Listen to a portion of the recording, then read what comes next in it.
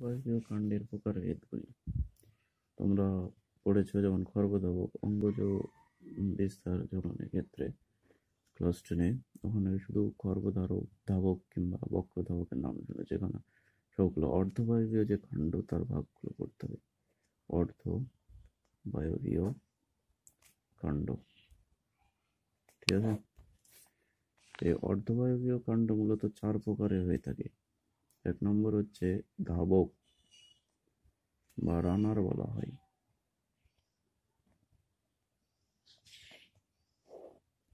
এগুলো কি হয়?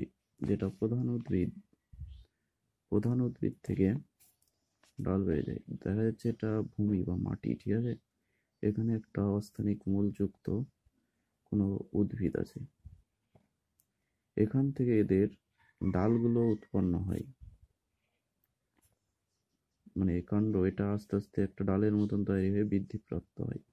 সোজাসুজি মাটির সঙ্গে চলে যায় মাটির সমান্তরালে, দিয়ে কোথাও আবার এখানে অস্থানিক মূলের সৃষ্টি করে আবার এখান থেকে গাছ তৈরি হয়। আবার এইভাবে চলে যায় মাটির সমান্তরালে। দিয়ে এইভাবে যে, এই যে এইগুলো, এগুলোকে বলা হচ্ছে ধাবক বা রানার ঠিক আছে? এটা দেখা যায় শুষ্নি। শুষ্নি গাছ অনেকে দেখেছ? শুষ্নি, মার্সেলিয়া। ঠিক আছে দুর্বাঘাস এটা দেখেছ দুর্বাঘাসটা। দুর্বাঘাসে দেখবে এরকম ধরনের দেখা যায়। এটাকে বলা হচ্ছে রানার বা ধাবক। দুই নম্বর বক্র ধাবক বক্র ধাবক মানে বক্র কার আকৃতির হবে। একই রকম, এটা যদি ভূমি বা মাটি হয়, এখান থেকে একটা অস্থানিক মূলযুক্ত কোনো উদ্ভিদ, ঠিক আছে? উদ্ভিদ আছে। এখান থেকে যে ডালটি, কাণ্ডটি তৈরি হয়ে গিয়ে মাটির সমান্তরালে গিয়েছে।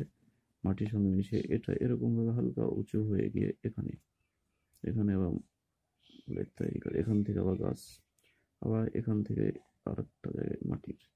এখান থেকে এইভাবে যদি কোনো গাছ তৈরি হয়, এটাকে তখন বলা হচ্ছে বক্রধাবক বা স্টোলেন।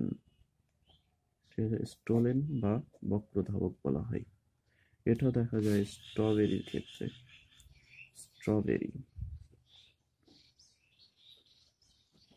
হ্যাঁ স্ট্রবেরি আছে, এটা দেখা যায়। আর একটা হচ্ছে খর্বধাবক, যেটা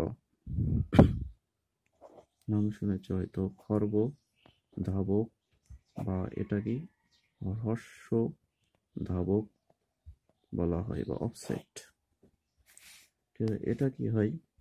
এটা সাধারণত জলজ পরিবেশে দেখা যায়। কিরূপ? এটা যদি জলজ পরিবেশ মানে জল আছে এখানে তো এখানে জলে ভেসে থাকা কিছু উদ্ভিদ আছে, কচুরিপানা, পাত্রাস এগুলোকে বলে। কচুরিপানায় দেখবে এরকম অনেক পাতা আছে, ফুল আছে। তো এইগুলো জলের একটু হালকা নিমজ্জিত হয়ে, এটা জলের উপরিতল, হালকা নিমজ্জিত হয়ে আবার এখানে গিয়ে আর একটা এরকম কচুরিপানার মূলের মতো অস্থানিক মূল দেখেছে একদম মানুষ, মহিলাদের চুলগুলো হয় মাথায়, ওরকম দেখতে এরকমভাবে নিচের দিকে থাকে। আর এরকম ভাবে এখানে আর একটা হয়তো বাতরাজ বা কচুরিপানা তৈরি হয়েছে।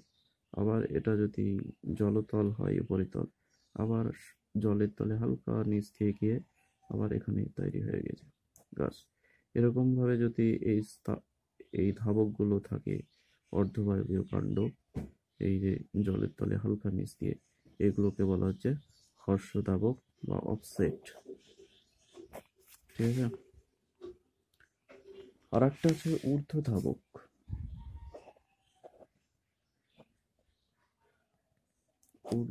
ধাবক এটাকে বলা হচ্ছে সাকার।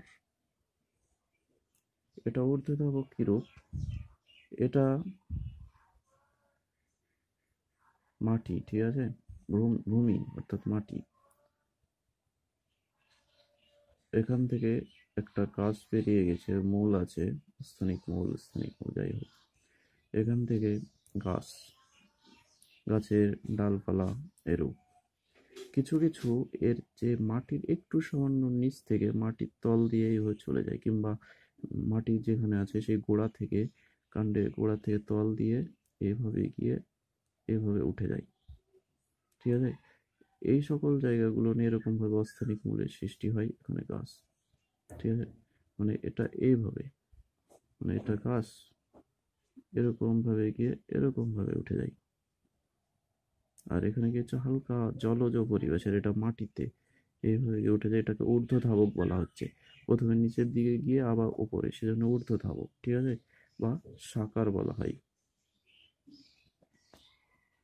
এটা দেখা যায় চন্দ্রমল্লিকা বা ক্রিসেন্থেমম যেটা। চন্দ্র মল্লিকা, ঠিক আছে? তাহলে এগুলো হচ্ছে ধাবক অর্ধবায়বীয় খণ্ডের সব উদাহরণ। তাহলে এটা পড়তে হবে, কারণ এটা পরীক্ষা আসে কাকে বলে উদাহরণ? তোমাদেরকে যেটা বলছিলাম, মূল, মূলের অঙ্গ সংস্থান ওটা একটু দেখিয়ে দিই। এটা মাটি, শুধু মূলটা আঁকছি ঠিক আছে? এখান থেকে সাপোজ ধরো একটা মূল মাটির দিকে নেমে গিয়েছে।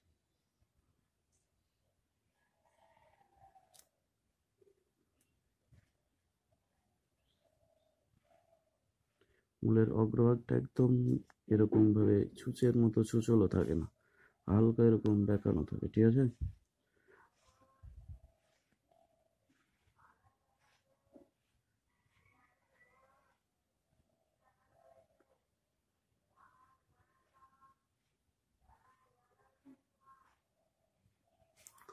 এখানে দেখো মূলের একেবারে অগ্রভাগে এরকম ভাবে টুপির মতো যে অংশ, টুপির মতো, এই অংশ, এই অংশটাকে বলা হচ্ছে মূলত্র মূলত্র বা রুট ক্যাপ রুট ক্যাপ, ঠিক আছে? এই মূলত্র কাজ কি? মূল কি? এমনি তো নরম, তাই না? মূলের একদম যেটা অগ্রভাগ, তার যে কাছাকাছি এই এরিয়াগুলো এগুলো তো খুব নরম হয়, মাটি তো শক্ত। তাই শক্ত মাটি ভেদ করে নিচের দিকে যেতে সাহায্য করে এই মূলত্র বা রুটকাপ এখান থেকে এক ধরনের তরল পদার্থ নিঃসৃত হয় যেটা মাটিটাকে ভিজে দেয় এবং নিচের দিকে অগ্রভাগ মানে নিচের দিকে চলে যায়, মাটির নিচের দিকে বৃদ্ধিপ্রাপ্ত হয়। অর্থাৎ মূলকে মাটির দিকে নিয়ে যেতে সাহায্য করে এই মূলত্রটা টুপির মতো একটু শক্ত হয় তুলনামূলকভাবে এই এরিয়াটুকের মধ্যে।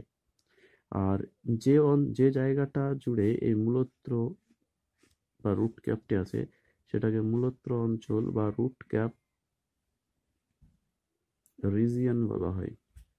মূলত্র অঞ্চল, ঠিক আছে? মূলত্র অঞ্চলের ঠিক ওপরের দিকে কিছুটা অংশ সাপোজ এইটুকু ধরলাম, এই অঞ্চলে কোনো মূলরোম থাকে না। মূলরোম থাকে না, ঠিক আছে?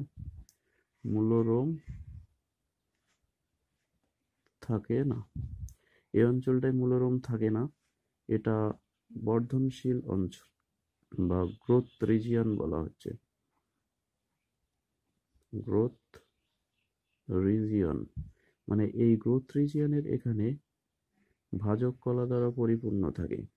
এখানে ভাজক কলাগুলি খুব অ্যাক্টিভ থাকে এবং বিভাজন ঘটায় ফলে আমরা ভাজক কলা পড়েছিলাম যে কাণ্ডমূলের অগ্রভাগে। এই যে মূল্য গ্রোথ রিজিয়ন বা বর্ধনশীল অঞ্চল সেই জায়গাতে ভাজক কলাটি থাকে এবং এটি বৃদ্ধিপ্রাপ্ত হতে সাহায্য করে। তাহলে মূলত্র অঞ্চল যেটা মূলত্র সেটা মানে মাটির আঘাত থেকে নরম অংশকে রক্ষা করে যখন মাটির ভেতরে চলে যায় তখন। আর গ্রোথ অঞ্চল বা বর্ধনশীল অঞ্চল যেটা সেটার কাজ হচ্ছে মূলটাকে মানে বর্ধিত করা, অর্থাৎ লম্বা করে কোষ বিভাজনের মাধ্যমে নিয়ে যাওয়া, ঠিক আছে? আর তার ওপরে মূলরোম মূলরোম দেখা যায়, মূলরোম। এগুলো থাকে, মূলরোম থাকে। তাই এই অঞ্চলটাকে বলা হচ্ছে মূলরোম অঞ্চল বা root hair zone. Root hair zone, ঠিক আছে? এটাকে বলা হচ্ছে। আর একেবারে মাটির কাছে মূলের যেটা গোড়া, এই গোড়াটা তুলনামূলকভাবে শক্ত হয়। এটাকে বলা হচ্ছে পারমানেন্ট অঞ্চল বা পারমানেন্ট জোন বা স্থায়ী অঞ্চল। পারমানেন্ট জোন বা স্থায়ী অঞ্চল। ঠিক আছে তাহলে এদের কাজগুলো কি? মূলের যদি কাজ বলা হয়, এখান থেকে তো পেয়ে যাচ্ছি।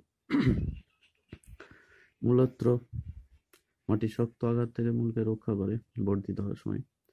গ্রোথ রিজিয়ান কোষ বিভাজনের মাধ্যমে মূলটাকে বর্ধিত করতে সাহায্য করে।